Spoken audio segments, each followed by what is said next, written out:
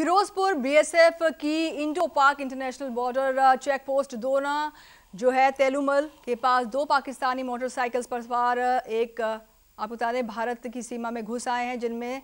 BSF पूछताछ अब फ़िलहाल कर रही है और इन दोनों पाक घुसपैठियों से करीब दस हज़ार रुपये की पाक करेंसी, एक पाक मोबाइल फ़ोन, तीन पाक सिम, मोबाइल मेमोरी कार्ड और एक मोटरसाइकिल बरामद हुई है। ये अपने आप में एक बहुत बड़ी घटना है कि कोई मोटरसाइकिल पर सवार होकर भारत की सीमा में इतने अंदर तक आ गया है।